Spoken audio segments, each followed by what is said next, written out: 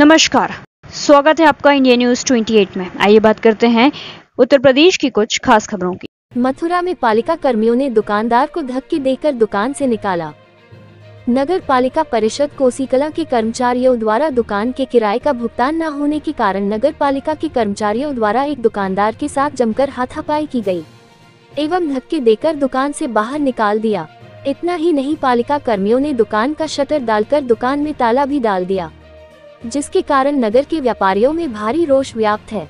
आपको स्क्रीन पर दिखाई दे रहा ये दृश्य नगर पालिका परिषद कोसीकला के कर्मचारी एवं दुकानदारों का है, जो कि पालिका कर्मचारी दुकान का किराया समय पर भुगतान न करने के कारण दुकानदार को धक्के देकर दुकान से बाहर निकाल रहे हैं। आपको बता दें कि उक्त दुकानदार राकेश कुमार के पिता हरिश्चंद्र पुत्र लक्ष्मण प्रसाद ने नगर पालिका को पगड़ी के लाखों रुपए अदा कर दुकान किराए पर ली थी, जिसका सड़सठ हज़ार रूपए दुकानदार पर बकाया था। किराए की वसूली करने आए। आधा दर्जन से अधिक पालिका कर्मियों ने कानून को अपने हाथ में ले लिया और जबरन दुकानदार के साथ हाथापाई करते हुए दुकान से बाहर धकेल दिया।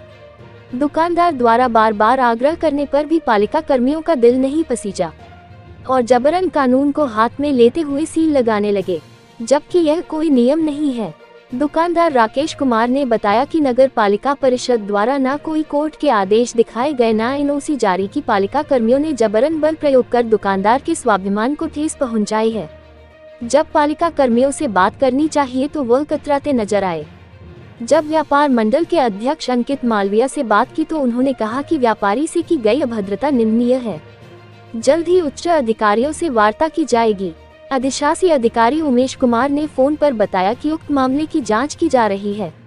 दोषी कर्मचारियों के खिलाफ कार्यवाही की जाएगी। मथुरा संवाददाता ब्रिजवीर सिंह जादौन की रिपोर्ट।